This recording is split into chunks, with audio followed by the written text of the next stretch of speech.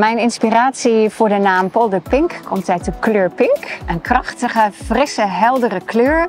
En die vond ik wel passend bij de krachtige gemeente Dronten. Op de dag van de planten was het uh, koud. Uh, het was heel nat ook. Super gezellig met heel veel buren, uh, jong en oud, zijn we aan de slag geweest. Het samenplanten van de bollen heeft ons als buurt gebracht dat we een hele leuke middag met elkaar hadden. Jong en oud hebben echt keihard gewerkt. Ja, en het smaakt naar meer om nog andere initiatieven op te pakken.